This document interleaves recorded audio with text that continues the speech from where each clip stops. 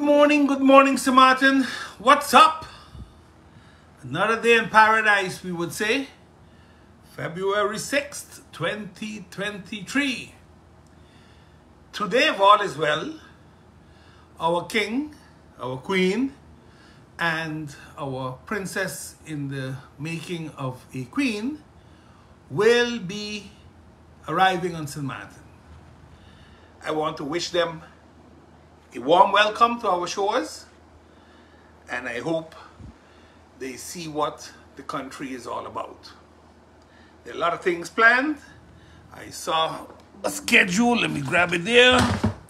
Today they will be visiting the airport terminal, the reconstruction. They will be doing a reenactment of disaster. They'll visit the medical center.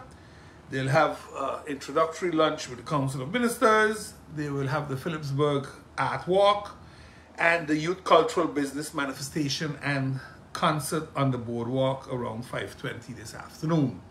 And on Tuesday, they will be doing a bird tour at Fort Amsterdam.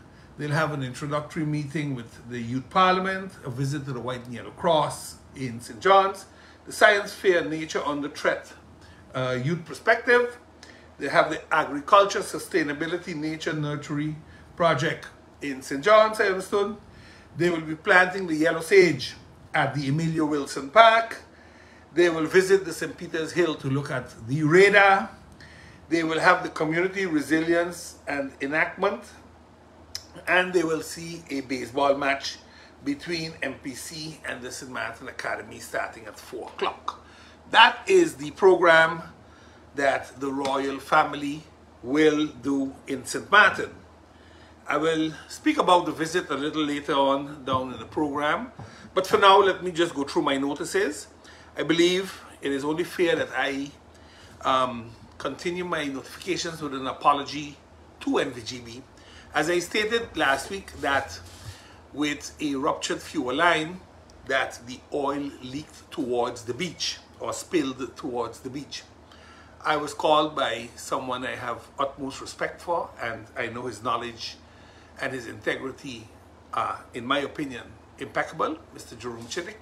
And he informed me that no, Buncamper, yes, there was a rupture. Yes, the oil spilled, but it spilled into the waste pits. And that went into the recycling of the waste oil. And the oil never reached the beach. So I want to apologize to GEBE because I did put the news outside that it might have happened and I had asked Nature Foundation to go and look. But I got confirmation that it did not happen, so I want to apologize publicly since I made the statement publicly. Nothing wrong with saying you're wrong when you are told you're wrong and shown you're wrong. Let's move on.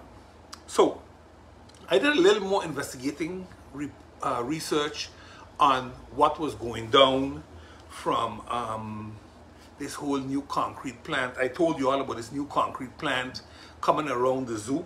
So I continue doing a little more investigative reports. I notice a lot of people love to run go cadastre and see what's going on. What I wanted to know was, I, I know who the land was given to. It was given to a local in Long Lease. That the local is family to the minister is not relevant at this point in time. But what is relevant is that there's a sublease. Now that sublease is not regulated no place. The, the law, as I know it, doesn't just allow you to sublet. That's what I went to courts for in 2010. And today, in 2030, 23, sorry, 13 years later, the appellate court can still not answer if selling economical rights is legal or not.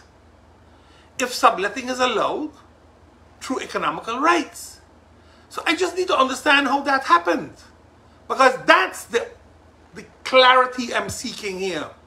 That, that this government don't protect its own, that's crystal clear. That we know. I ain't gonna worry whine about that no more. That they prefer to see St. Martin Concrete with a few hundred employees, Central Mix and BOPC send home their people so they could bring in their own little French connection of St. Bart's. I understand that. I cool with that. Not that it's good for this country, but this government has never worked for this country. So let us not cry over spilled milk on that one. But at the end of the day, I do hope that we can get clarity on how the subletting went down. Because according to me, something illegal went down there. So I noticed we have different types of undocumented people in St. Martin and that they have different sets of rights.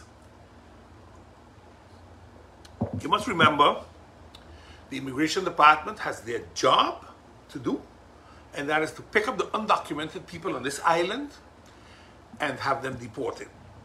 At this point in time, this is a six month program, a pilot project between the VSA and the Ministry of Justice, where they said all undocumented workers that have worked for, I think it was three years or five years um, already, the business owners should come in and register them. And if they meet the criteria, they will get a work permit and if need be, a residence permit. But if they don't meet it, they will be deported. That is one group. Then you have group two. Group two is the group that falls under the World Bank. And why do I bring it up? Because they are not subject to the immigration laws of the country. They are subjected to a policy of the World Bank, where the World Bank states that once they start a project they don't look at legality. They only look at the human being. That, that is something also that big organizations like the Red Cross does. And I understand for the Red Cross. I understand that one. But for the World Bank, I do not understand it. And I'll tell you why. It isn't as if the World Bank is opening their cash pan and saying, I am distributing monies to you that I picked up on behalf of you all from citizens of the world, like the Red Cross does. The World Bank distributes monies that they got from a donor, and in this case, that donor is our kingdom partner, sovereign country of the Netherlands. So I have a fundamental problem that our partner in the kingdom is allowing our immigration laws to be trampled on. And then you come talk that I gotta come down here and help you with border protection. You're not protecting my borders. You are telling me that I cannot deport certain people anymore because they fall under the umbrella of the World Bank. And that is wrong. Look, some people wanted money and they signed away the rights of this country, they should be dealt with accordingly. They should be dealt with accordingly. But you cannot put the country to suffer by allowing this to happen. I really would want to know who will challenge this in courts as this is a direct form of discrimination.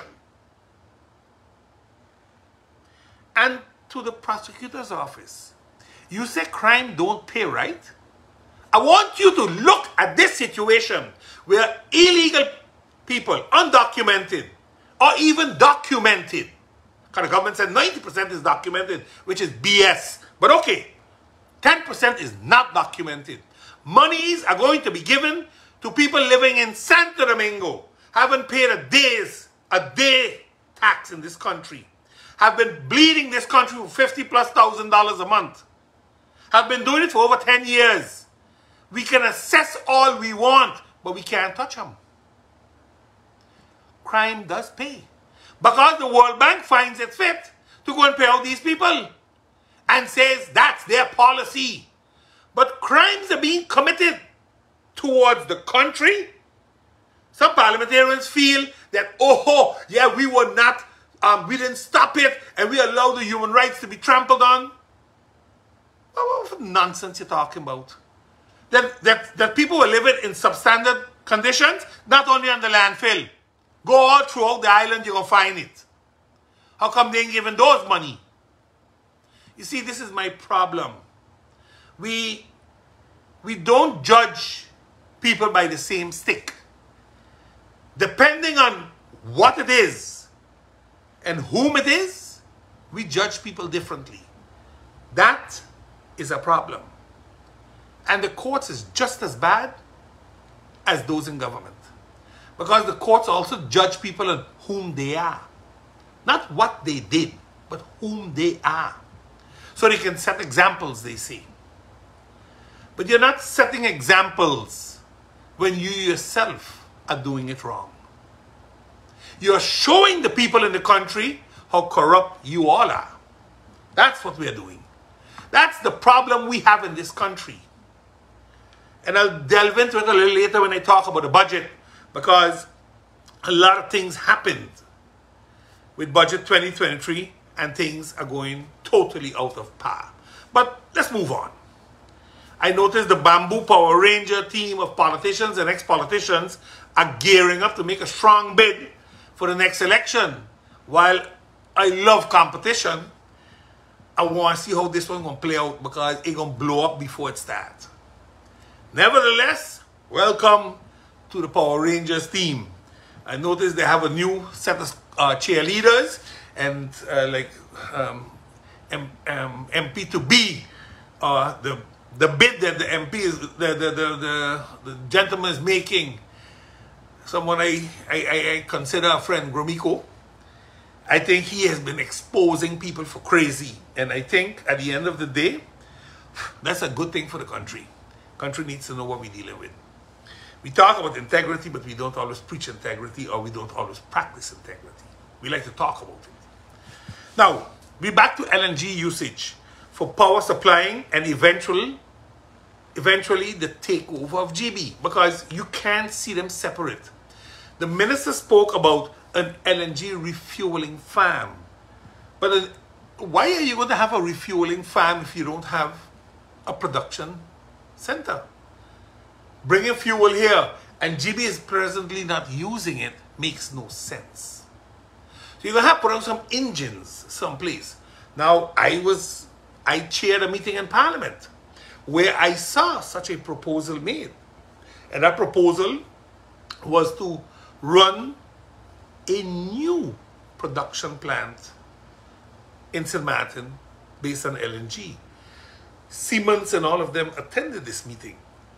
This was a genuine presentation made by a group in St. Martin. The thing is this, GEBE still has huge depths to handle and bringing in another player at this point in time would mean that somebody can take over all GEBE's depths and all GEBE's employees if they are going to run this new plant. I am all for a plug-in for the cruise ships. I am all for it. Most of the cruise ships are also turning over already to LNG gas. They're building their engines to run on LNG gas instead of diesel. And that would mean that environmentally, you ain't changing nothing. Don't talk about environmentally when you don't understand what it means. Because that's what's happening when they put out these pretty stories. Had the minister said, I truly want to do something for the cruise industry to drop the carbon footprint. Because cruise ships have a very high carbon footprint. And we having about 700 to 770 a year jacks up our carbon footprint. Just like all the aircrafts landing at PJIAE. So, had he said, let us put a windmill park together or let us put a solar park together to create a plug-in for the cruise ships, I'd have said bravo. Well done, Minister. Because whomever was willing to put money into the LNG, if it was the FCCA, as I'm understanding, they would have also put it into the solar. Because for them, all they're looking for is the plug-in. To drop the carbon footprint that the cruise industry has to pay for to international um, groups because they are charged for it. Thinking as if it's for free. Nothing for free in this world. So again, I am saying LNG is a transformation to alternative energy. But right now, because we haven't done anything on alternative energy for the past 13 years since we became country, if we are going to start, start now. Do it now. We don't need to wait another three, four years. We can do it now. Because for LNG, you got to go build all the storage tanks. So somebody get the lucrative contract on the side again. While if we come in once and for all with the solar panel, and GEBE can be instrumental in this, where GEBE takes that power and puts it on their grids. GEBE can even buy storage batteries if need be and work its way into the alternative energies platform. Sure, there's going to be some reschooling, but I prefer we reschool our own and we bring in others again to do it for us. This is what we need to understand. We talk about capacity building, but if we don't build our own capacity, then let's stop talking about it because we're lying to ourselves. So again, I don't see Shell, Sol today rolling over play dead, leaving another distributor coming to St. Martin with LNG gas. So we're going to have a serious war then. And then, you know who pays the price? The residents of St. Martin. We're screaming about the fuel clause, but we are doing absolutely nothing about it. Because the LNG gas was not to help GEBE. It was for a plug-in for the cruise ships. You see what I mean? It's not about us. It's about them. We need to change that mentality. It is about us. And we need to take care of us. And if we don't do that, we're going to have a bigger problem as the years pass by. If we want to honestly keep cruise ships in port to ensure that some people can go at night and have a dinner on the boardwalk or maybe in one of the restaurants in Simpson Bay or in Philipsburg or in Grand Case, wherever it may be. It would mean that the ships will have to stay in port after 5 o'clock or 6 o'clock. 80% of the ships, at least, have a very close port of call and they go out in international waters and they drift there for five, six hours and then they go to be it St. Kitts, be it Antigua, be it Tortola, be it uh, Puerto Rico, one of those islands, or St. Thomas, one of those islands. If we allow them to open their shops and their casinos on board, it isn't as if we are going on board to play in the casinos. To the contrary, their people can now go in there and make money. And the casinos is a serious business for the cruise ships. It's a money-making business for the cruise ships. And since they can't open in port, they leave port.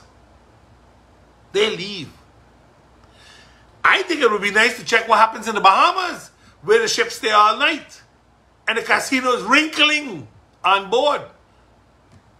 Because they adjust their laws to suit their economy. We, on the other hand, we keep them shut to keep the local casinos that are not helping this economy stay afloat. I will be addressing all the standalone casinos in the very near future. Because I sincerely believe we have too much. We have to pull a line someplace.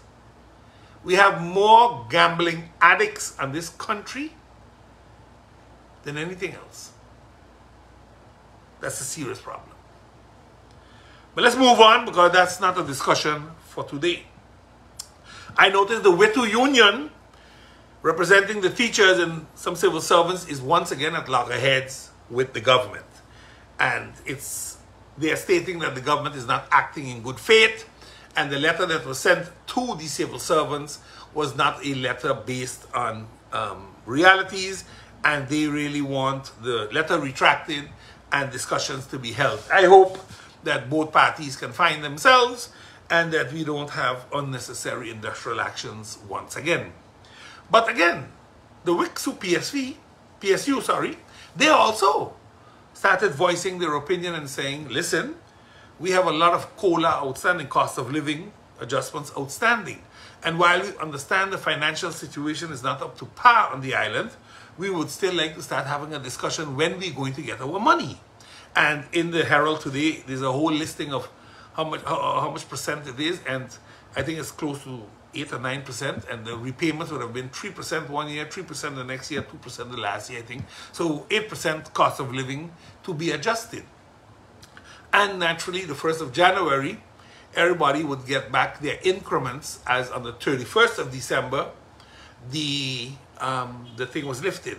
The uh, 12.5% law was lifted, so everybody will be getting that increment starting the 1st of January if they had a positive evaluation. Um, Bush Road, no. I, I don't know what to say. I saw them working on Bush Road for days. And in the past, I used to pick up the phone and I used to call the minister. I used to sometimes call his staff eh, in the ministry and give some advice. I stopped doing it because I get the impression that they believe I am trying to upstage them or make them look foolish. I don't need to do that. They do that to themselves. They're, they're, they're versed in that. And I'm going to show you a few examples as we go along in this show. But Bush Road is a place known for water.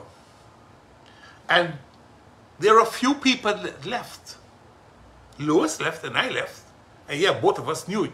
But there are more people in Vromi that know of this in infrastructure management and in new works.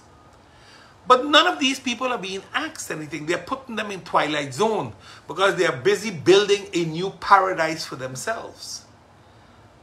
Bush Road is now a clear example of when you play with fire that you get burned. They thought they were going to have smooth sailing and smooth riding. Well, they bounced up on water. They didn't know what to do with it. So what they did is they just threw in base course and pressed that, and Bush Road has been left unattended and unfixed qua asphalt. And the pieces that they did fix, they didn't even drop road markings on it. So, but I'm extremely happy that this happened. Because I had a big problem with that program I just read out to you with the King's visit. Because we come here and we do and we have all these things. But I'm going to deal with that just now in the King's visit. The roads are in a deplorable condition. I have a very serious problem when the Prime Minister comes out and says, Oh no, but all the cleaning works and all the road works are in normal part of the yearly budget. So why you didn't fix them last year? What happened to that budget? Why you haven't been cleaning last year? You conveniently clean up because the king coming. The hypocrisy, you must leave it for yourself. You don't have to share it to the public. We are tired of it. I live in St. John's. There are two visits of the king in St. John's. And they clean where he's going. The rest of St. John's just looking on. So please, Madam Prime Minister, keep your lies to yourself. We don't need them. We hear them daily. What a joke. Let me give you something positive. Who went to the auditorium Sunday gone there? I couldn't make it, but I, I'm promising to go this Sunday. I know I got Super Bowl to go out to after, but I want to go and support the youngsters the young schools, all the schools, the young um, primary schools, they're playing netball. I don't understand the game too good, but I go in there to support them because I believe our youngsters need a little pro. They, we we got to show them that we appreciate them doing sports and all the schools um, have made a good attempt to get their kids on the right track. And I, I believe that's something that needs supporting. I'll be there just having some fun looking at one of my grandchildren also playing that ball. So Let's let's let's go there. Sunday coming out. I think for the kiddos it's a dollar. For adults it's two dollars. And I think we all go there. We're gonna have a great time enjoying netball from the youngsters.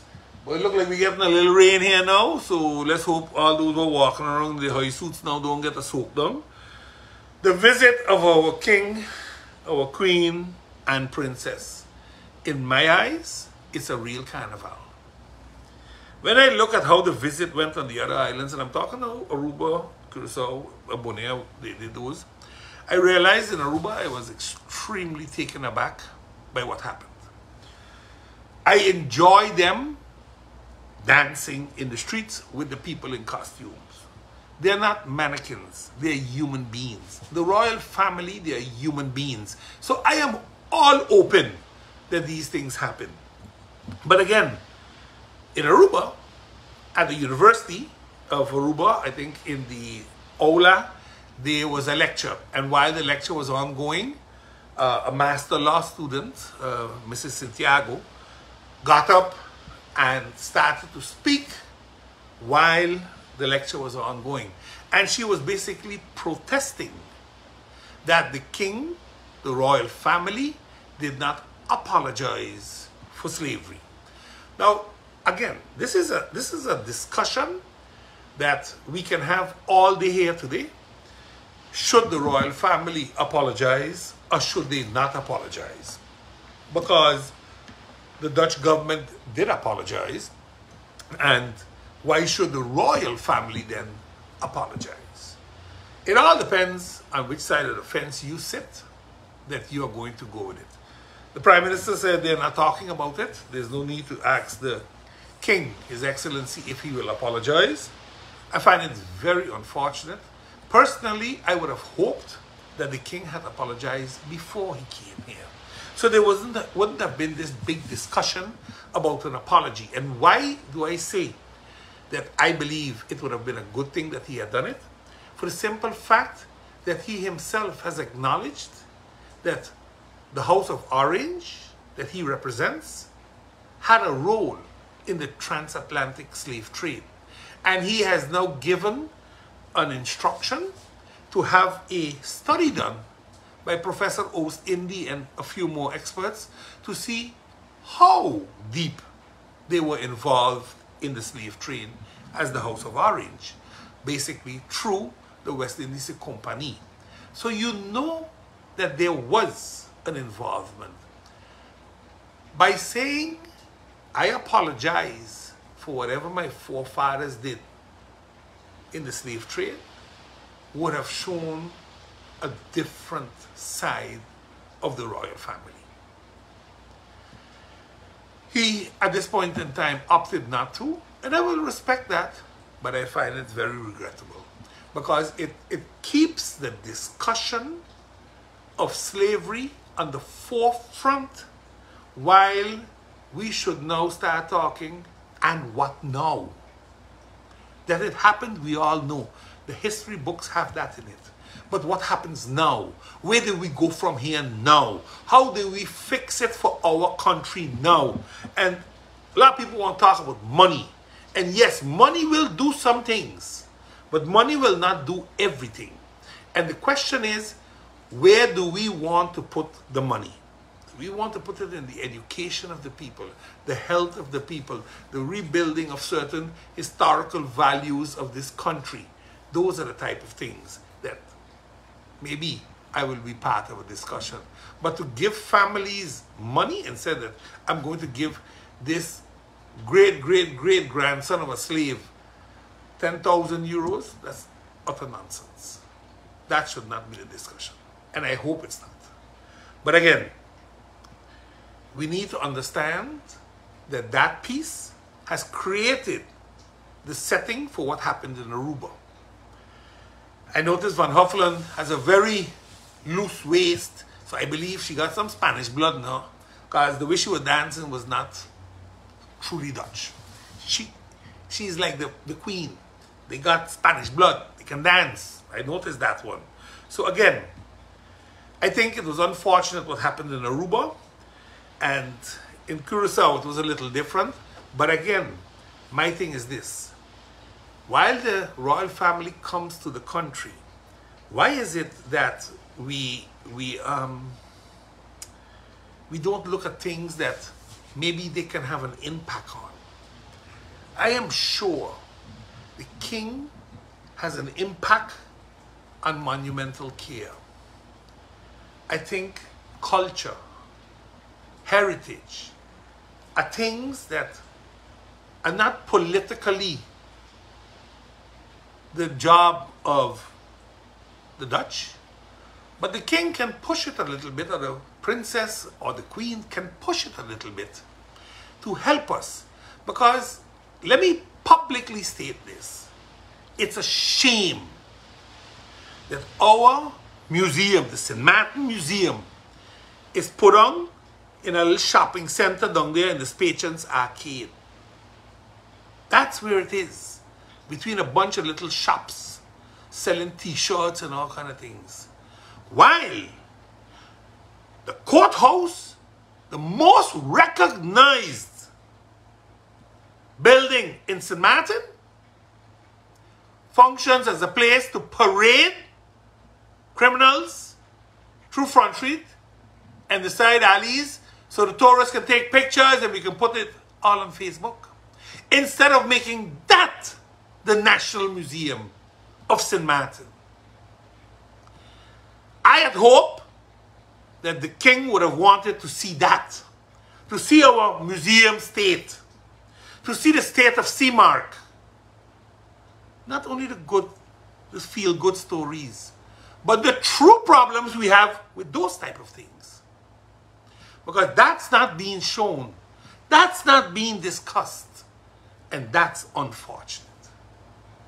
So while I have no issue with their visit, I think we missed a golden opportunity to bring certain things to the forefront and say, Your Highness, this is what we need help with. We need you to maybe work with the Prince Bernhard funds, make that extra call for us because our people can't get to them.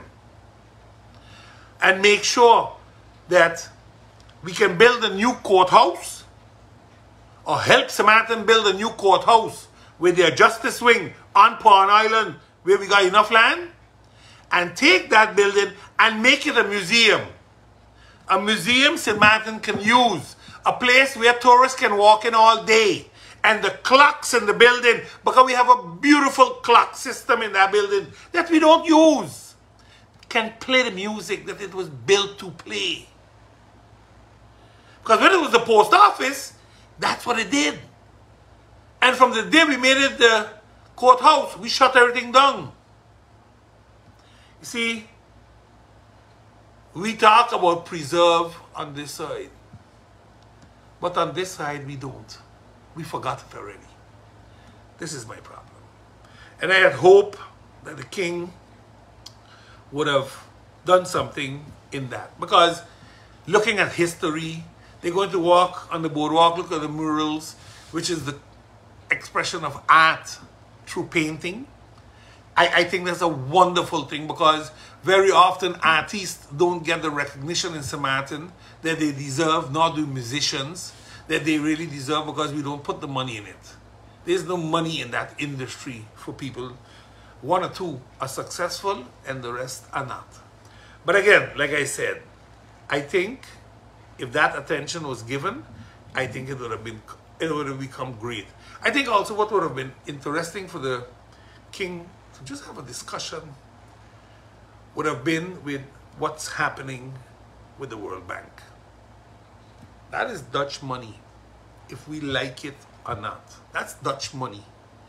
And it would have been good if the king could have seen firsthand what's happening. And you're touring the airport, a disaster, bunch of money being thrown into it again because they have to fix up somebody's contracts. You're going to the hospital, another fiasco. But you're not visiting the Sister Marie Laurence School that after seven years hasn't been rebuilt. You're not checking the Charles Leopold School that hasn't been put in operation yet. The hundreds of seniors that still don't have a roof. They undocumented that we given 12 to 14 million dollars to. Those would have been good things to see and understand what truly happened in this country. Again, maybe a drive through some of the side roads of some of the districts like St. Peter's, or Dutch Quarter, or Middle Region, or KB, Cole Bay, would have shown how we truly live, would have shown the hidden poverty now by the beautiful program put together for the king. So when we all leave after the seventh, everybody feels good, everybody is happy, we put out our best foot. But that's not what it's about. When your royal family comes to your country, yes, you can put out a good foot, but show them the realities. Show them how their citizens are living. That's our obligation too. And we always fail because we always want to put out our best foot. Sometimes it's good for them to see how bad the roads are. And maybe God works in mysterious ways. And that's why Bush Road is in the state it is today because they're going to have to drive over that road at least five to seven times. So they go, bumble, they're going to feel good. They said, but what happened here? Uh, I uh, need money for the roads? Come, maybe I could get some from in Holland. Undocumented people have rights too. But again, for me, I have an issue with the way this works.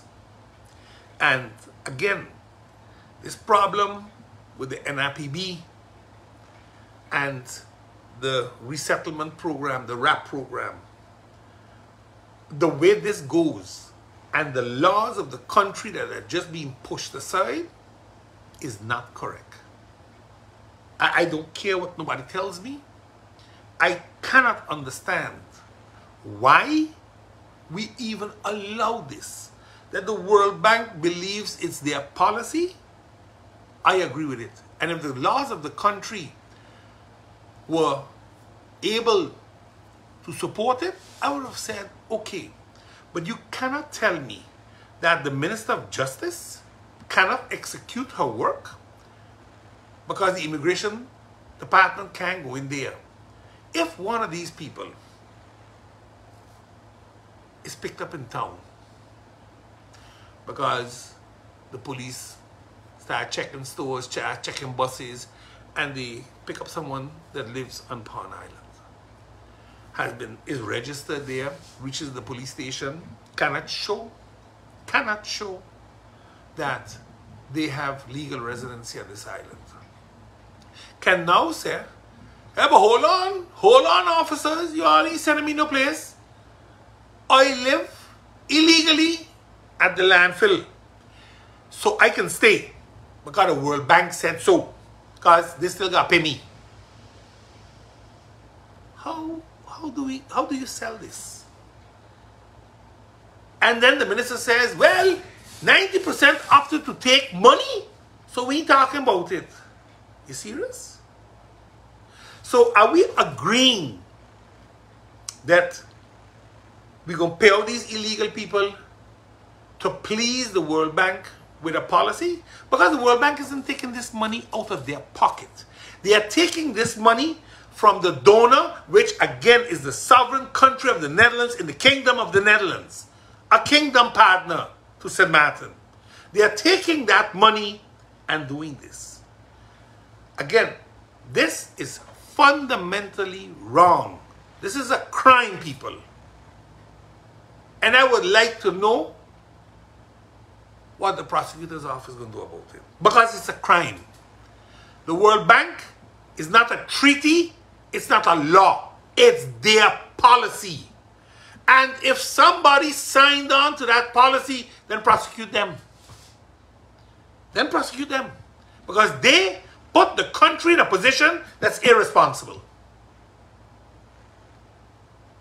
You see, all this dip- the, the diplomacy and all, this is where things go wrong. This is where countries lose their footing in the public eyes. It would mean that the same thing America could say, okay, come in, you're illegal. Um, okay, but I, I'll give you a house, I'll give you a job. In Holland, in Holland, they have a serious problem right now with refugees. And just now the door gonna close. And we can say, yeah, but it's unhumane, understood. But when you are destroying your own country, then it is not inhumane. You gotta survive, your people gotta survive. And this is the problem with St. Martin. We have left immigration go unchecked for a very long time. Now, they started to clean up a little bit. I'm not saying we are home scot-free because a lot of um, cases have been lost in courts where judges said that the minister is wrong to deport or, or, or, reject a permit request, etc., etc. Bottom line is this. We're trying, but now we find ourselves in a quagmire where we are being told by a foreign entity that we can't deport people, otherwise they're going to stop the project of fixing the landfill. So if you want me to fix the landfill for 30, 40 million dollars, you have to allow me to give away this 12 million dollars. That's it.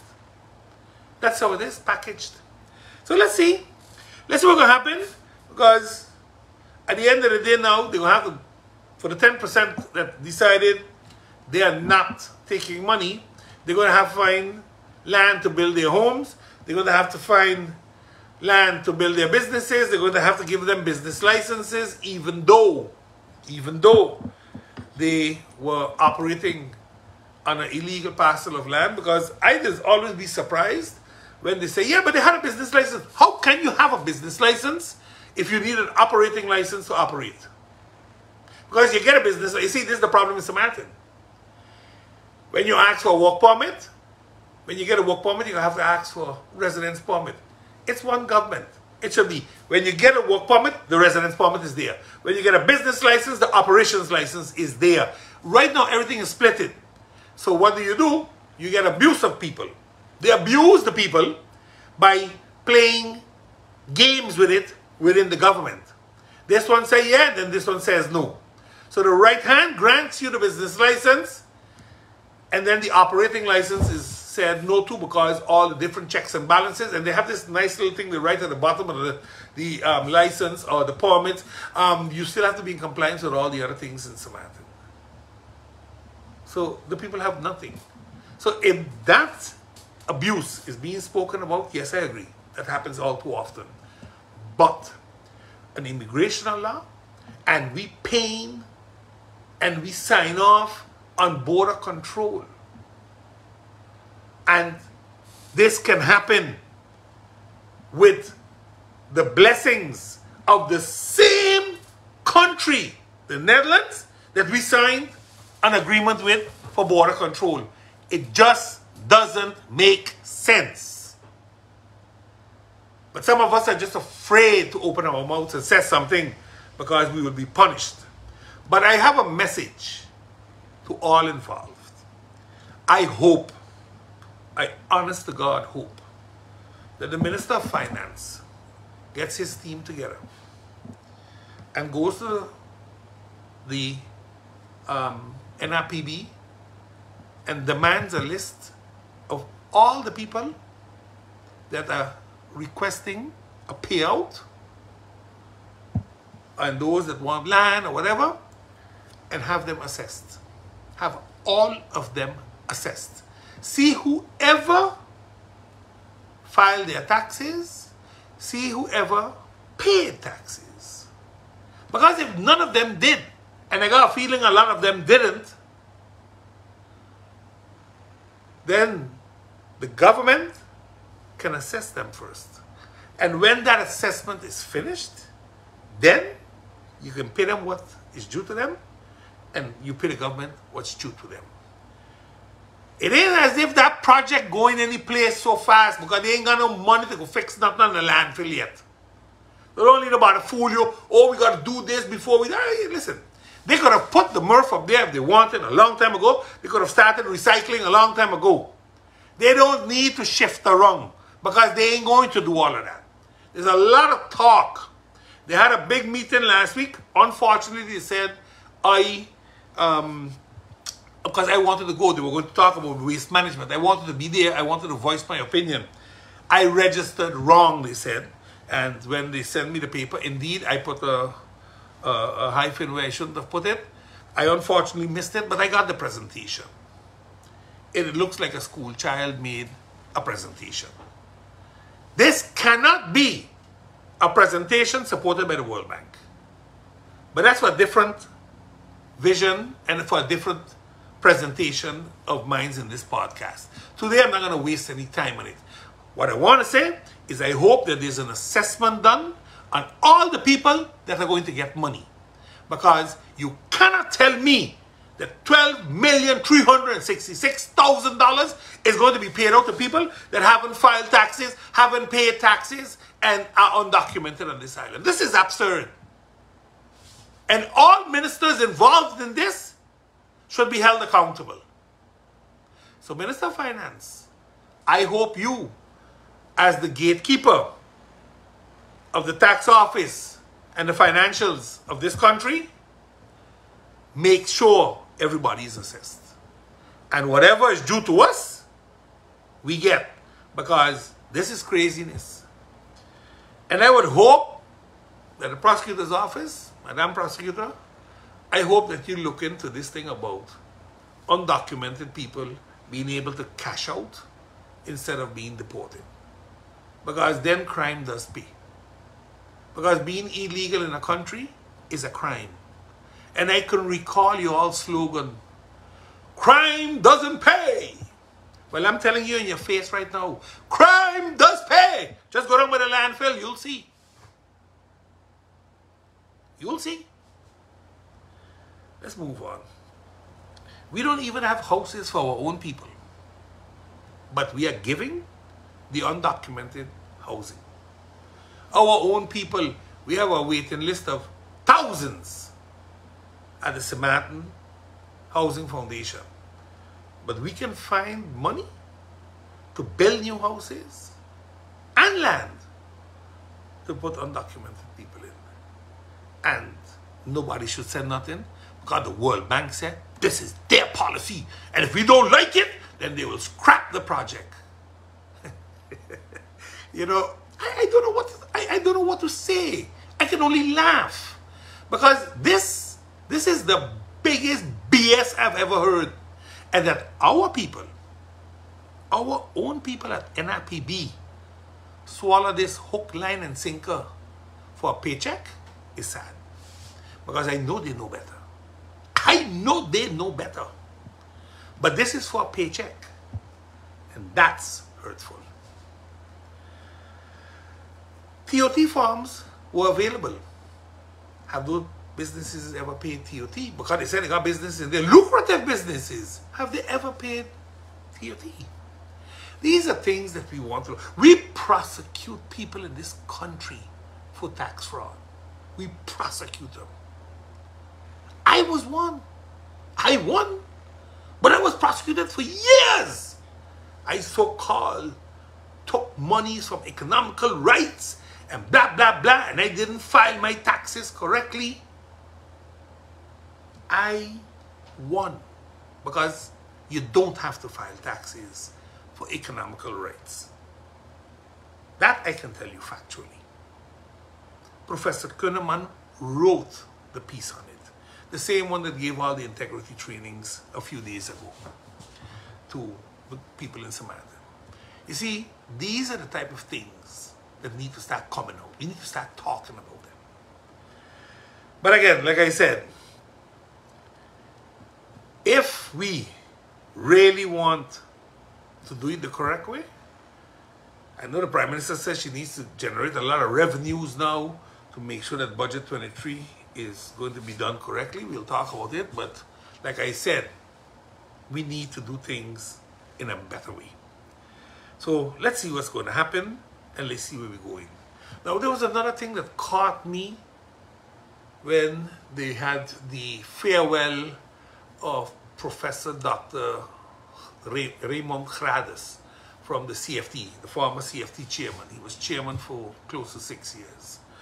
And there were a few words spoken by the Vice President of the Council of State, uh, Mr. Thom de Graaf, and he basically said equality is not necessarily equality. And I said, what? Where, are we going? But as I listened, I realized where he was going. And basically, he said, look, the dispute regulation that we have been fighting for since 2010, which is Article 12 sub A in the Charter of the Kingdom, the Kingdom Charter, that that will never work the way we intended to work. But if we would look at the dispute regulation that the CFT, the RFT law, the Regs Financiële Toezigswet, if we look at that dispute regulation and maybe apply that, that might work. And he says, you gotta understand that 18 million people that live across the ocean in the sovereign country, the Netherlands, is not equal to the 350,000 people that live on the six islands in the Caribbean Dutch. It is not equal. It will never be treated equal. And then I said, okay, okay. The question then was, what exactly are you saying? And I broke it down in two, two, two, two sections. One of being like the dispute regulation will never be to the disadvantage of the Netherlands as they're the only sovereign country in the kingdom. So that might be how the equality is not equality. But pay for everything yourself and we will always be equal as you're not subjected to any demands from us as you don't need to request funding. So there will be no dispute when it comes to that with funding and Article 38, we, we help each other, etc., etc., won't be necessary. Changing the charter is a farce, as the Netherlands isn't going to just simply let their grip on the islands go, knowing full well that in this day and age, we will not survive um, the way we are operating at present. So these are things maybe that he is thinking of and saying equality is not equality. We are not financially strong. We can't take care of ourselves. We have some people walking around screaming independence and um, we're going to destroy the country instead of rebuilding the country. Maybe that was an undertone that he was trying to sell. Maybe totally different, he might have said, we have made some serious mistakes and abused the well-being of the Dutch Caribbean people for donkey years and we're working on changing the necessary laws to make everyone equal in the eyes of the law the social system the tax system etc so maybe there we'll see some equality. Equality in taxes equality in the social system and equality in the law because all three are different right now. In St. Martin we don't get the social well the social care, uh, the social, the social um, pensions like the Netherlands, the minimum wage like the Netherlands. We don't get that. But that's because we don't pay for it. Our tax system is always lower than that of the Dutch. So again, I like how you said, Beverly, um, equality is about equity. And as long as equity is not the same, you're never going to be equal. I agree with you. I was just trying to keep it a little more simple that they understand by giving the examples that I'm trying to show. Again, maybe they also, because remember in the law, our, our punishment has shown over the years in the studies is much harsher in the small in the islands than it is in the Netherlands. And because an island is small, everybody knows each other they immediately jump on the bandwagon that he should have been an example. See, if somebody does something in Groningen in Holland and they go live in Amsterdam, nobody knows. It's three hours apart with a train. But if I do something in Philipsburg, I can't go St. Peter's because everybody knows still so. So they, they, the laws are different. The way we punish people are different. I brought it up a few weeks, uh, two weeks ago. I said a man uh, stole took a hundred, what, 900 and something thousand euros, the man got 180 hours community service. He had a lot of people for years, if that would have happened. So again, but to move on, the Dutch might have said also under the equality is not equality that they want to change the charter and ensure that full autonomy is there and we will move the governor and allow the country to appoint their own representatives that will vet their laws. Now, you see, this is where politically the apology of the king would have meant so much. Because the governor who signs our laws into law represents the governor, represents the king, not Rutte and them represents the king. So we have a formal position in the government for the king. We, when we take an oath, we take an oath, either we swear um, to God or we take an oath to be loyal to the king. You see how important that role still is? And the last thing is that the Netherlands will assist to maintain the treaties they signed on to on behalf of the kingdoms for the islands in consultation with the islands. Now, one such treaty is the Human Rights Treaty. The Dutch signed it, we took it over, but we can't afford a prison um, for our prisoners, and we have problems all day, and we have had cases of um, neglect in human rights, etc., etc., etc. Maybe they want to fix that for us. I don't know. But these are the type of things that I believe that when we talk about equality is not equality, might have an effect on both sides of the fence. Let's talk about the budget 2023. Here we go again. Now, this morning, I was reading the newspaper and I listened to the Prime Minister last week and there was an article in the newspaper and I am I am I am continuously being surprised by the, the, the naivety of the Prime Minister. Thinking that people continue believing what she's saying. Look, the amended budget 2022 was not approved. Budget 2023 was sent back. And it was sent back because of a few things. And this morning, the article gave a little clarity on the aspects of why the budget is a problem. The CFT said, people, you hand in the 2019-2020 year reports. Both those reports did not get a positive qualification from nor SWB nor the General Audit Chamber. Both of them said that those two reports do not reflect the reality of St. Martin's financial position. That's a serious problem, people. That's a very serious problem. Besides that, the debts that were incurred in 2019 and in 2020 are still not, and then you have 2021, 2022, are still not shown in budget 2023, how are you going to pay for it? Now, again, I don't want to battle down on the minister alone on this one, the minister of finance, because he's not fully at fault. I'll explain.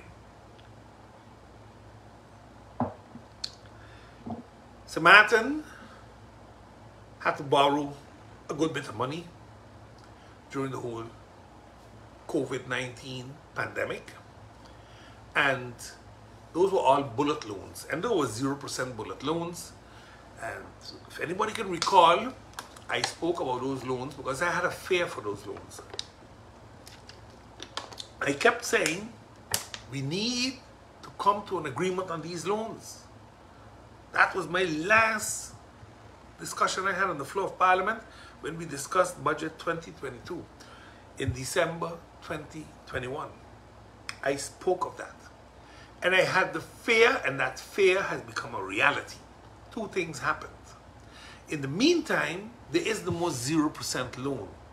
The loans right now are 2.3 or 2.4%, and they will increase most probably to 3.5%, because that's what the Netherlands is lending money for right now on the capital market. They're not getting it for free. So we are not going to get it um, exempted either. And at no point in time has Holland even agreed to this. While we speak of debt cancellation, and some politicians now started, yeah, um, because you all have acknowledged slavery as, as the Dutch government, you should do debt cancellation of the 1.3 billion that um, we owe the Netherlands on loans. It would be great if such is done. But I am not that optimistic that that's going to be done. The Dutch have always been able to play us based on our emotions. The rationale is we own the money, we owe them that money. The rationale is also they never allowed us to borrow from anybody else, so they manipulated us to become a financial prisoner from them. Can you recall the time that the Minister of Finance had put out a bond, I think it was for 75 million guilders, and Knops came out and made a furor. How is this and how is that? And places like SSV, Maduro and Curiel's Bank, pension fund that had signed on to buy this loan. Because the central bank went out and saw if there was appetite, and there was appetite, so they put it out. And the minister did this so he does not have to continue taking money from the Dutch and tie himself down with conditions. They shut it down. Knops and Gradus did that with the CFT. They shut it down. So I don't blame the minister alone because he did try. He honestly did try and I'll give him credit for that. But at this point in time, the minister is playing a game of cat and mouse. I can't fix the budget because the Dutch ain't telling me what they're going to do with the loans. The Dutch don't have nothing to tell you. You owe the money. You owe it. So what you should do is put it on the budget and tell them you have a deficit. Just like how the IMF said, it cannot be done. If you can't do it, as long as they don't give you a deal with refinancing or removal of the debts, you will have a deficit, son. Put it on and send it through. And if they say we can't accept it, then put me under higher supervision and done. Then you go fix it. Then you go fix it as Holland. Because what they're doing with you is they're setting you up for the kill. And politically, I shouldn't be talking this with you. I should just let it happen. But I think you're a good person. You genuinely are trying to do something for us. But again, again, you cannot hold the country hostage by not bringing the budget to the floor. Let the floor of parliament approve it with a deficit. The CFT can jump as high as they want. But since the CFT is not the one that can give a exemption for a budget, with a deficit. Only the Kingdom Council of Ministers can. And since they already said they're not giving it, then you have a problem, Minister. Then you have a problem. Because the same Kingdom Council of Ministers has not answered anything about a rollover. What they said is we're going to start the discussion. That don't mean you have anything. Come March 31st, I think it is, you have to have answered the Kingdom Council of Ministers on how that budget deficit is going to be taken up in the budget 2023. I, I don't know what you're waiting on. Send it. And as long as they don't come over the bridge, you have done what you can do. You have been honest with the situation. But if you keep dancing around it, eventually they're going to blame you for it and say you were not prepared and you didn't do this and you didn't do that and you didn't do that. Just be careful, Minister, because those Dutch boys, they play chess. They don't play checkers. Down here, you all are playing checkers. And before you know, you're going to be checkmated. So be very, very careful with this. I have realized, and you have realized, that St. Is in a very awkward position right now when it comes to their financial position. The General Audit Chamber, SOAB, CFT, they are all very concerned with our position when it comes to sol the solvency of this country. We went from 15 to 30 plus percent. We doubled in the last few years, and we're going to continue going up as long as these debts are not dealt with. Our solvency is going to get worse. And that means our equity will drop. And that basically means our EBITDA is going to be in serious trouble and the country is going to be financially very unstable. It is not something I'm going to delve in now and go overboard on, but it is something that I believe the, the minister should speak a little more about, explain the people in St. Martin that it's not going to be a smooth ride going forward. While right now we are not going to feel the recession um, of Europe and America, we're not going to really feel it because the Americans are still spending and Europe is spending just as much to keep that tilt in balance. We, we got to understand though that we have a problem and our problem is our budget isn't closing. And the Prime Minister said last week, she will, we will do what we have to do to generate those revenues. That's scary because those revenues are 100 plus million. And unless we got a magic box or printing shop, we cannot, we cannot generate those revenues. So when they start going out on tax sprees again, because collecting a little extra FPACT or having a few extra building permits approved is not, is not going to cut it. We need serious money. Tax reform would have played a serious role had we done it since last year. It would have played a serious role. But up till this day, we have not done anything with tax reform. And again, more presentations are going to be made in, in Parliament, but what we need now is action. For years, we have been playing with a tax reform. I, I, I think we know what we want. I think we know what we want. I think we know what we need. We have to get rid of the turnover tax. You can't increase it. You have to get rid of it and bring in the import duty. Because the import duty alone will give you an additional 50 million over your turnover tax income. But the love is spread then. We need to do more. We're not doing enough, and I think we're going to get ourselves in a very awkward position very soon. I think the minister needs to understand that the people in St. Martin are tired. A livable wage is 3,500 guilders or $2,000.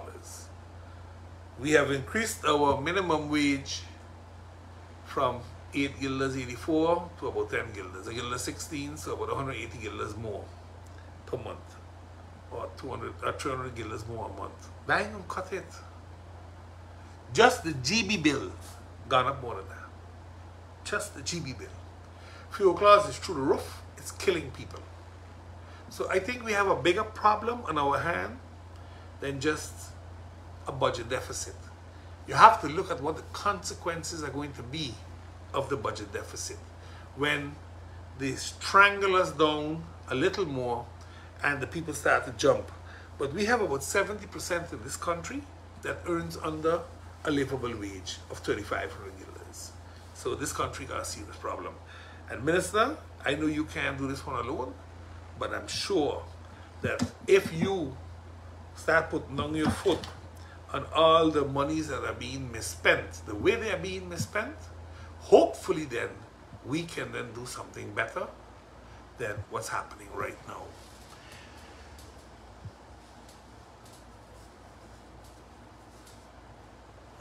I agree with you on that one, Shoes, but that's a discussion for another time with um, the payments on SSB and so. But I'll tell you this much. We need to be honest with the people. We are not. The Prime Minister, as the, the spokesperson for this country, is telling too many untruths. The last one she pulled us on is when she said that all, all the road patching and road paving and district cleaning, that's all part and parcel of the regular works in St. Martin. It used to be. I agree with you wholeheartedly. It used to be so a few years ago. But last year, road patching, road works were hardly done. District cleaning stopped in October. It's still not back. So right now, it's not part of the usual work. What it is, is that you're telling a little untruth. Thank God you're nosy like the one from Pinocchio. Because if it was, you'd be touching Mount Scenery and Saba right now. You tell so much of them already. The forgotten ones. This is this is one of them that hurts me a little bit, and that's why I said today is going to be a gut-wrenching um, show. Because when I think on how we treat our seniors, the only thought that can come to my mind is that they are the forgotten ones. I, I, I just spoke about equality a little earlier, that equality is not equality. I spoke about the budget woes of 2023. I also even spoke about the rights of undocumented people. And you realize that the pensioners, they're all missing on everything. We promised them an increase. I don't know if the increase is going to be paid or not. Many pensioners have called me and said they did not receive an increase. And I said, I don't know. I don't know how it works. And I tried to get a little information, but I, I wasn't uh, successful in finding out exactly how it is, how that increase is going to be given. I know sometime back there they had a problem with, um, I think it was in January when they paid the pension that um, early January, I think they paid pension.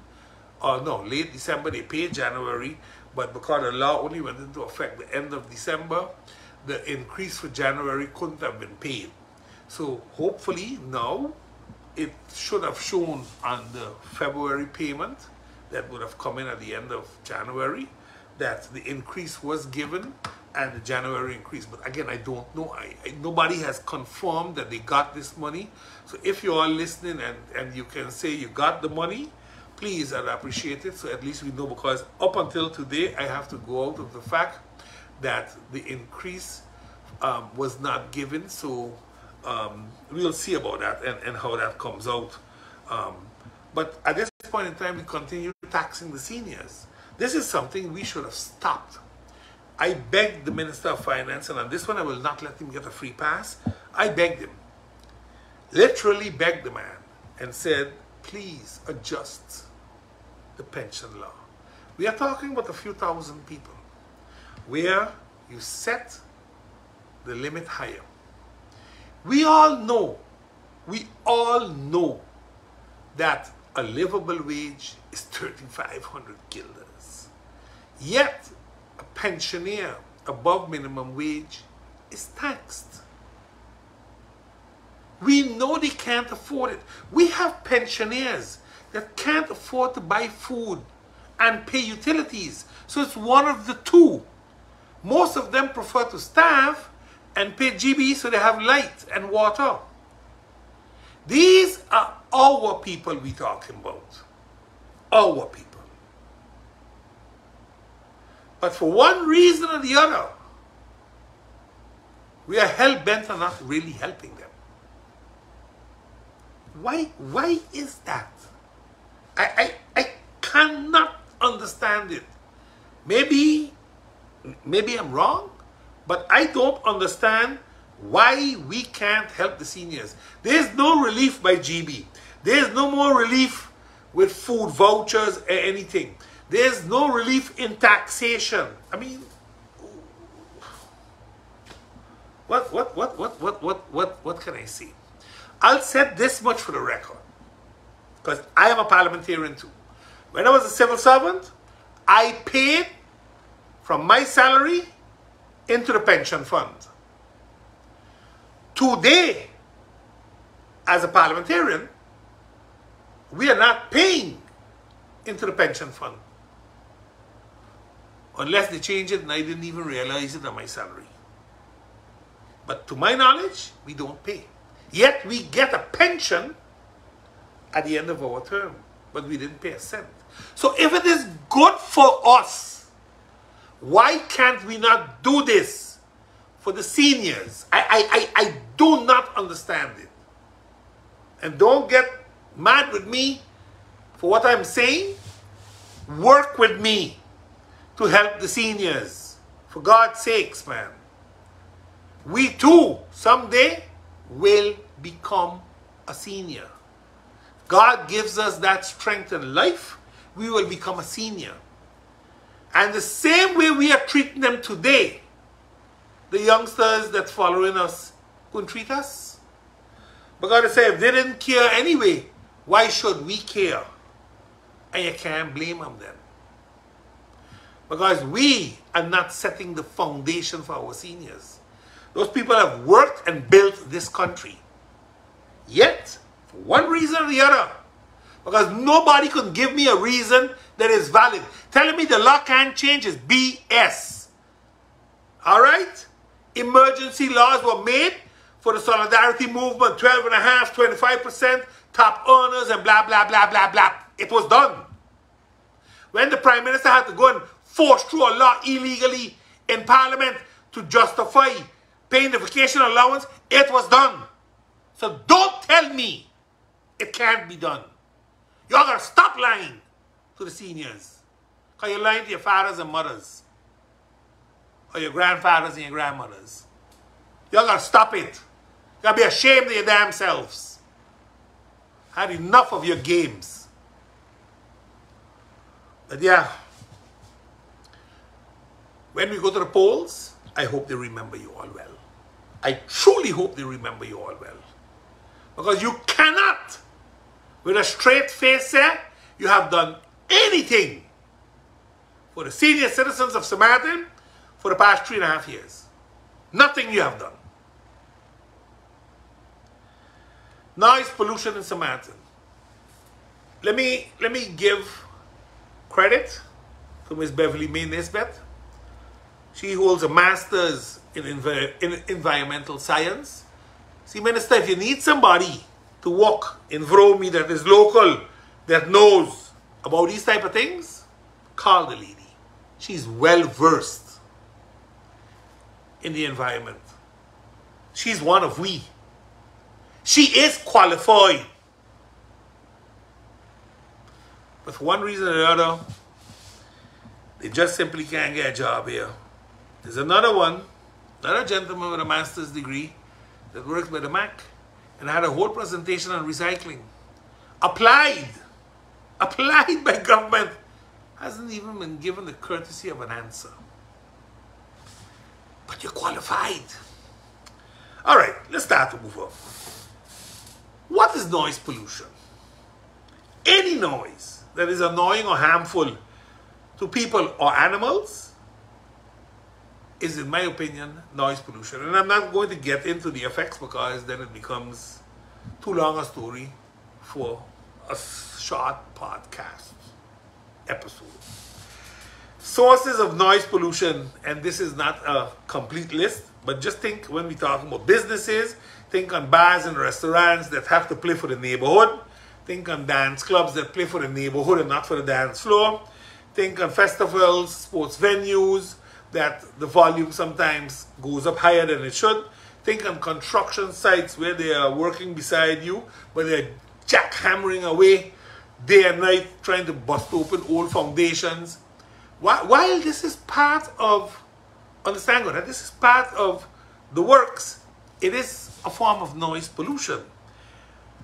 Even car washes, people are trying to make a dollar to feed their family, they wash cars at night because during the day they're hustling, doing another job, and they're wa washing the car, and you know they're washing it at home, but people live next door. It's noise pollution. When you get into the private sector, and this is one I hope the police really goes after. I have seen cars in St. The back two windows, the speakers blazing outwards. So they ain't even playing for the music in the car now. They play the music for people outside to hear. You ever hear more stupidity? That is serious noise pollution. That should be stopped. Because they play songs also with languages that normally should not be spoken. But hey, we all, I got, I got nothing more too. Okay? I cause bad words too. But I cause them where I stand up. I don't play them. So the neighbors in St. Peter's or in Saunders could hear them. When these cars driving coming down the road, it even scares you sometimes because you want to know where the noise coming from. As if you run up on something, it's a car behind you or a car in front of you doing this or two cars behind you. This is noise pollution, has to be really, really be dealt with. Even people at home. Sometimes you have a party, and nothing wrong with you having a birthday party, you know. But you don't need to play for the neighbors. Your guests don't have to go home hearing a zooming in their ear because you had the music jack up so high. This one here is going to be a touchy one. Firecrackers. You know, I am an advocate against animal cruelty. And fireworks and dogs don't go hand in hand. Why? Dogs are 100% more, 100 times more sensitive than human beings are.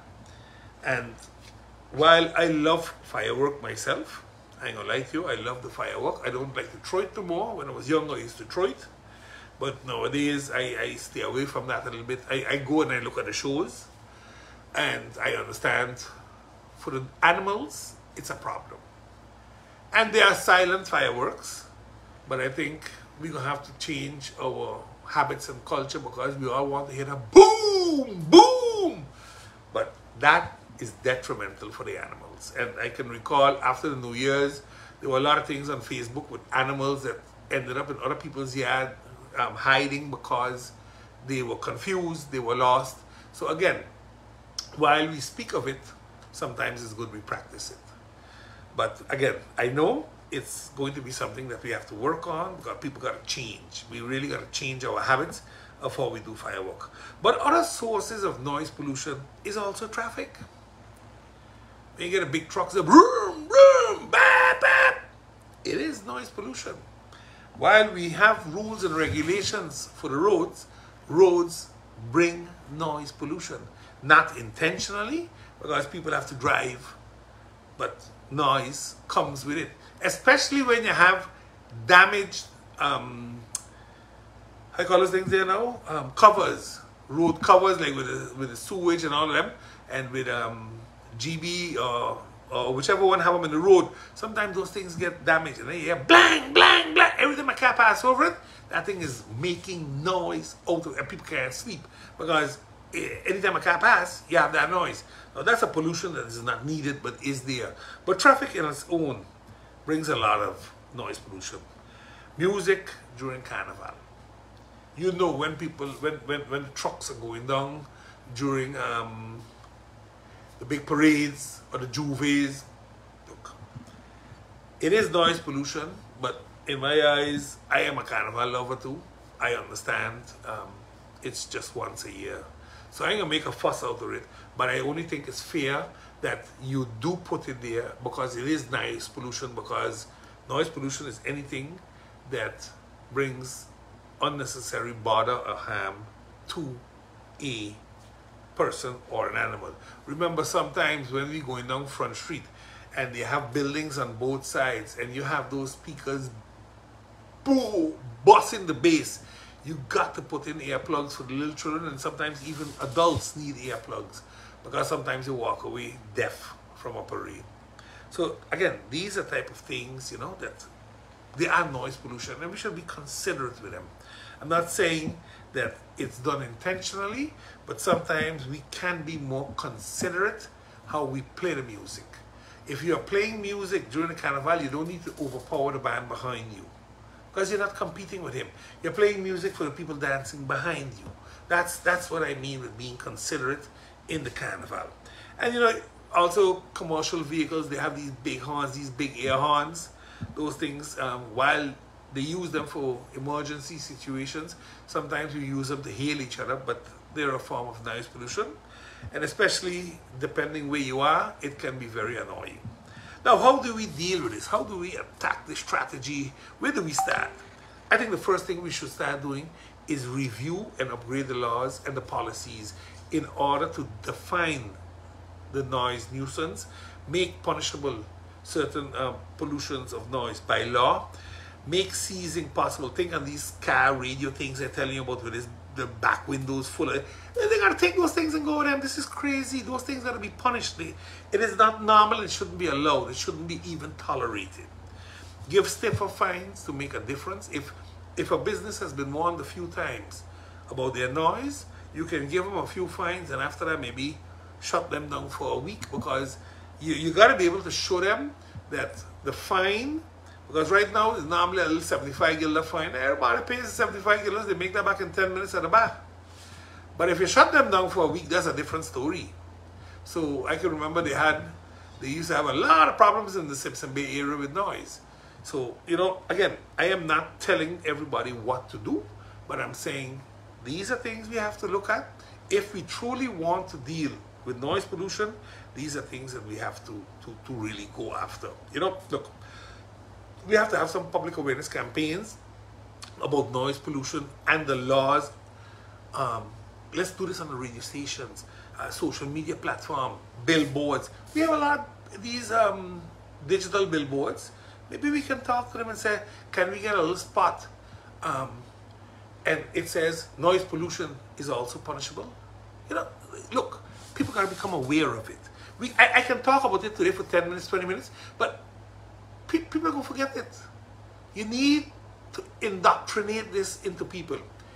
Noise pollution is not okay. Yes, you can tolerate it sometimes, but it's not okay. It's not something that should become the norm that we are living in. This, this is what I mean with it. And maybe we can talk to business owners, call town hall meetings for business owners. Let's discuss it. Let's see where we can make the change. How can we meet with each other?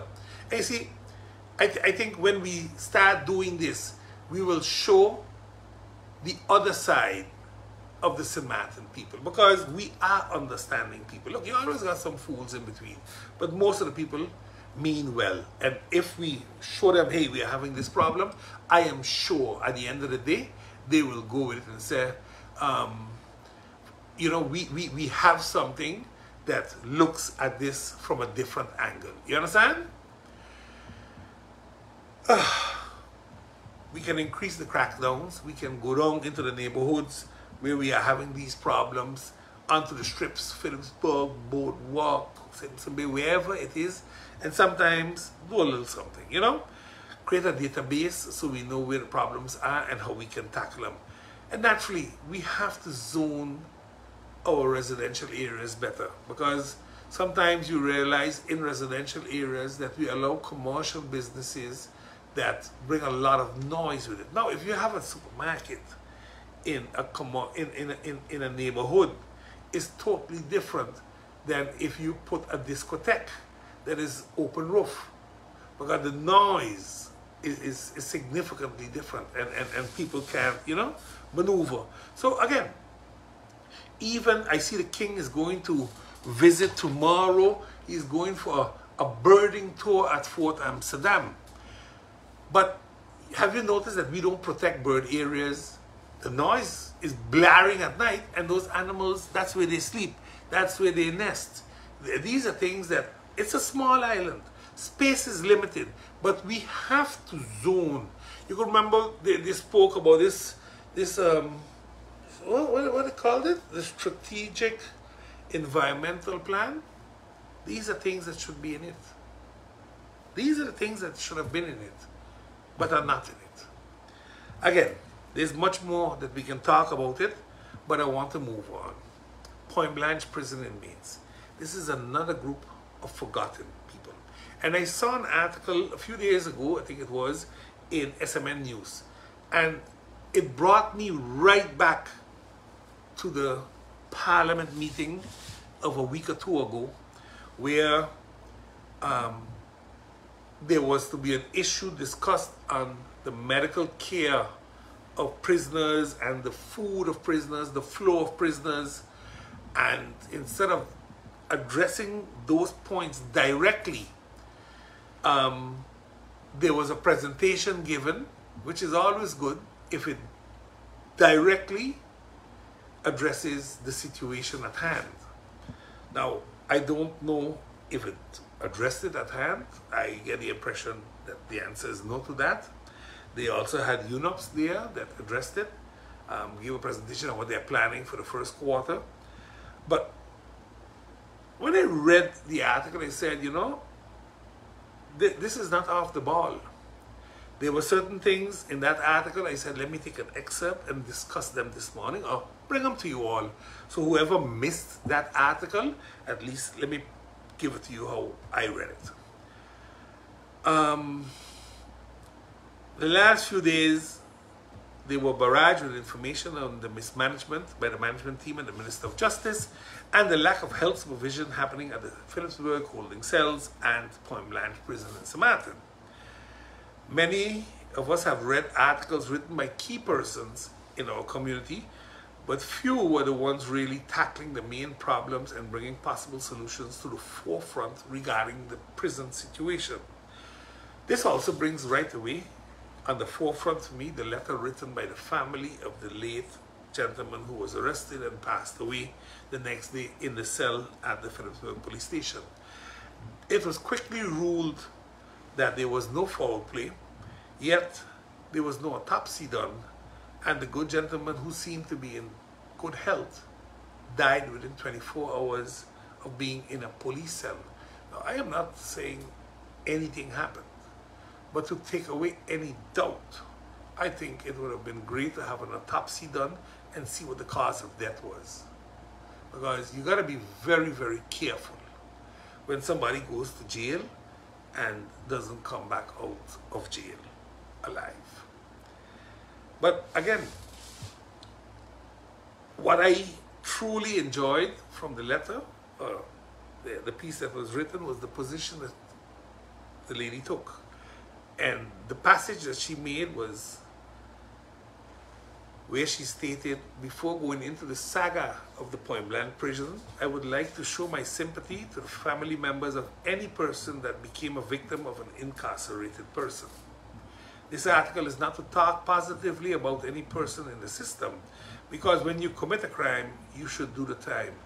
But it is to bring awareness to the human rights violation committed against a detainee. And this is what caught my attention. Because St. Martin has had a few cases now already at the International Human Rights Courts in Geneva, where the government of the Netherlands and the government of St. Martin got a good whipping.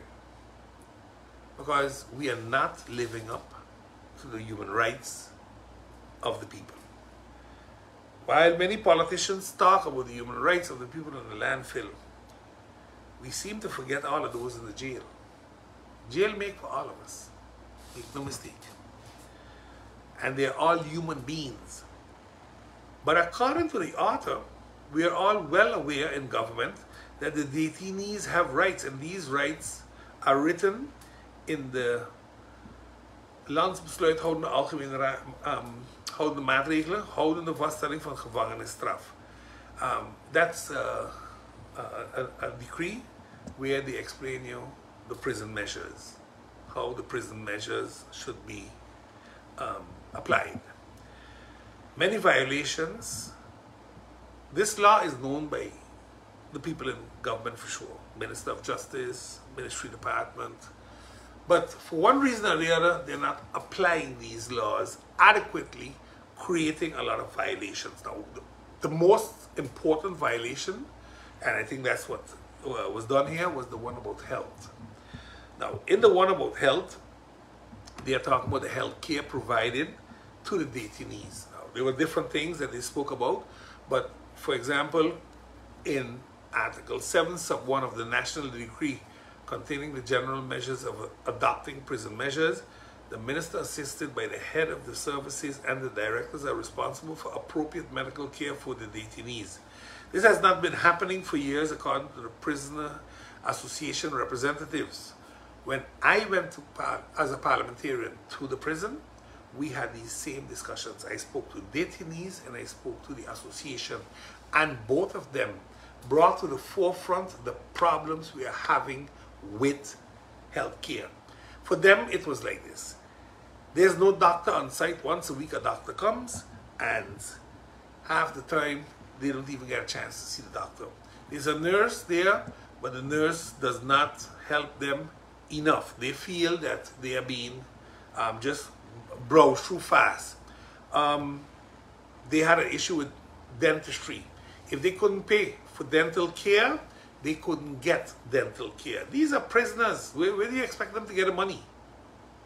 You took away their freedom because they broke the law. But then you have to take care of certain things. You can't just push them aside. Prisoners, when they come in new into the system, normally are checked medically. They're checked for COVID-19, they're checked for TB, tuberculosis, they're checked for HIV. These are all diseases that can have fatal consequences and are very, very infectious. They transmit very easily. But if they're not tested for them and they're just put into the prison system, that means you're putting prisoners at risk. This is one of the complaints that also came out and they spoke to the, the people about them. Um, one of the other things that they said that they were having a problem with was the prisoners are given um, a, a prescription, medical prescription. Once a week, they, they get um, Xanax. And that is just to, you know, listen, you're in jail, you, you get stressed, you have anxiety attacks, so they give them medication to ensure that they can feel a little at ease. Medication ran out, so they brought a new medication, and they're complaining that the medication that they're getting now, Xanax was 1.5 milligram, and the medication they're getting now is 15 milligram or 10 times as strong. Um, and some, most of them are not swallowing the medication. They don't trust it. Um, I, I am surprised that they would do this because you can make these people a pill addict before you know. But again, I don't want to go in detail because I don't have the, this is part of the article that I am I'm a little cautious with. Also, um, the whole matter of medical staff being there for 24 hours, etc., um, being a problem, and many many of the staffers themselves have said that this is a big problem there, and we should be looking at it um, from a different um, perspective. There was even a complaint of an inmate that is presently there and is suffering from an infection and he cannot get the operation that he needs to deal with the infection and whatever they have given him thus far has not um, yielded the, the stomach infection that the, the gentleman has, a very um, severe infection um, in his ab abdomen, and he has it now seemingly for years, and it's only getting worse because he's not getting the proper care. So again, you know, the, these are things that I, I, believe we need to pay attention to um, because it's, it's, it's not working the way it should work. And I'm saying that maybe the minister can, can give a better um, indication of what's really happening here to ensure that this, this, this will be done a little better because right now it is not, you know, and I, I think seeing what just happened in Philipsburg with, with, with uh, a detainee passing away, just like that, um, hearing what's happening up there, knowing that we're at full capacity up there already, I, I think we got to be um, cautious on how we go about it. But you see, it is when you see a situation like that, with the prison, you're saying, okay, so why isn't money being made available from the World Bank to build the prison? St. Martin cannot cough up the 40 million they're looking for. Holland is given 30 million directly, not through the World Bank directly. And St. Martin got cough up 40 million because this prison is going to cost about 70 million, give and take. And 10 million going for operations, I believe, through the Netherlands. My, my thing is this. Okay, so we're doing this.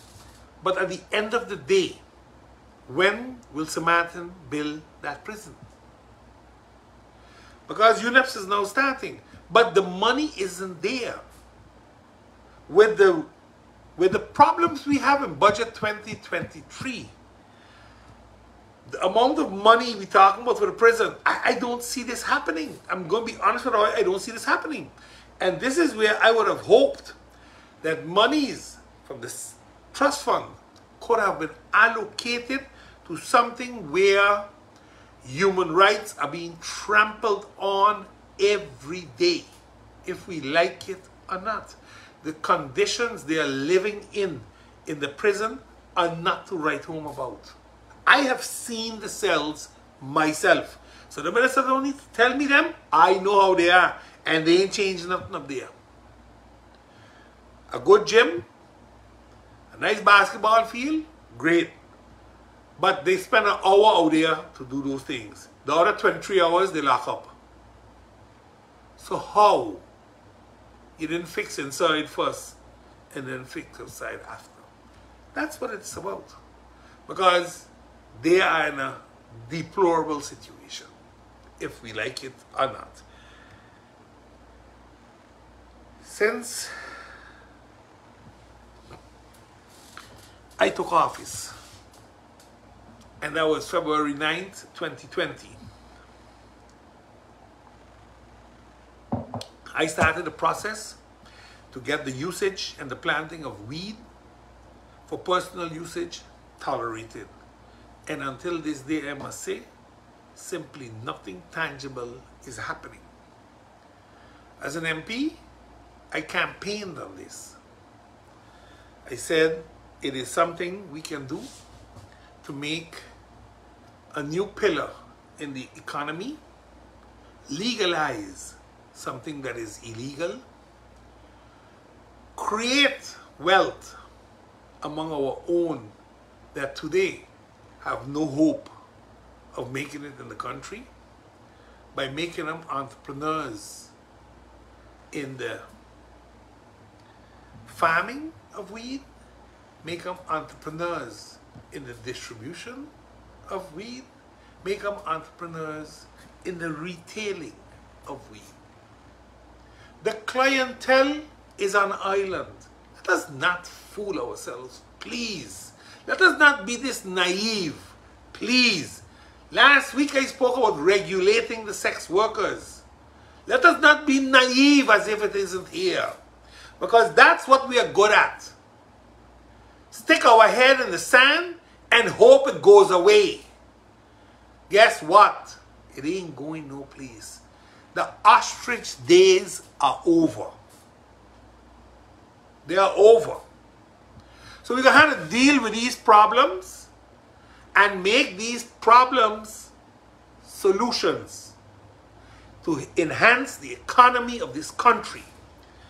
We did an RFP, something I was very vocal about. I didn't agree with it. And some people in St. Martin told me, ah, man, don't be so negative. Today, we know for a fact that no Samaritans brought in any ideas in the RFP proposals, the request for the proposals, that were of substance. Because they is understandable. But why we are reinventing the wheel is what has me baffled. Because in Holland, all the needed information is there. Go Antigua, go St. Kitts, go Tortola, go St. Lucia, go Grenada, go St. Vincent. It's there, people. It's there. But we want a request for proposal. Groups came in, yes, from Canada. Because they want to take it. They would want everything, the whole hog. But that defeats the complete purpose of this. Because this, when I campaigned for it, and I stand by it today. This economical product is for we own. Say for no outside people to come with money and put a St. Martin fella in front. They ain't gonna walk. That stupidity ain't gonna work. We need to understand. We have a lot of fellas that are professional growers, professional distributors, professional retail sellers. What we need to do is make it legal. We need to start with the tolerance policy so that if a youngster is caught with two marijuana sticks in his pocket, that he's let go. Instead of taken to the police station, write, written up, most probably sent home and then called back to courts and given a police record. And can't get a scholarship and most probably thrown out of school. We just, just, just had an issue where they were talking about the fighting of youngsters and how, many, how, how comes so much a high in school and teachers are nervous. But if you regulate this, you can also put a decent impact there. Because like it or not, the streets will always regulate themselves. They don't need the law for that. They will regulate themselves. And when the streets realize that certain individuals are messing it up because they're fighting too much in the neighborhoods are they're doing that, the streets will take care of that. But right now, the streets are taking care of themselves because they have to hustle. Right now, the hustle is illegal. And I'm saying legalize the hustle. The government gonna get their share of tax money. They'll get it. Because in Holland they pay tax too. Marijuana is not legal in Holland. And I don't think they're gonna legalize it that easy. And I hear some people on here talking about they're gonna legalize marijuana. It ain't gonna happen so easy in this kingdom because of the laws. But if you create a tolerance policy, which is much easier to start with, you can, you can, under the tolerance policy, create a policy for the growers, the distributors, and the coffee shop retailers. And you can create a smoker's license, like they have in Tortola. The tourists come in, they want smoke something, they have something for them. But we here are pretending we must do it different than the others. And I don't understand why. For the love of money, I, I, I honestly don't understand it. But again, I will continue to fight for the tolerancy policy. That it becomes accepted within the margins that are set. And if you go outside of those margins, you will be prosecuted. Yes, you will be.